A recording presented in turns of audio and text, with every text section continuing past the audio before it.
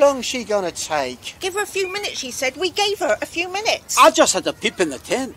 None of the certificates are given out. Well, maybe she wants to give him out personally. That's not how it's done. But it seems to me that Miss Plum can pretty much do what she wants, as it's her grounds and her money in the prize fund. No, Horace is right. There are some judging standards that have to be adhered to.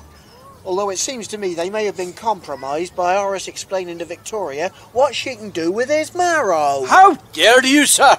Miss Plum is a lady. Indeed. Well, I'm not one to gossip, but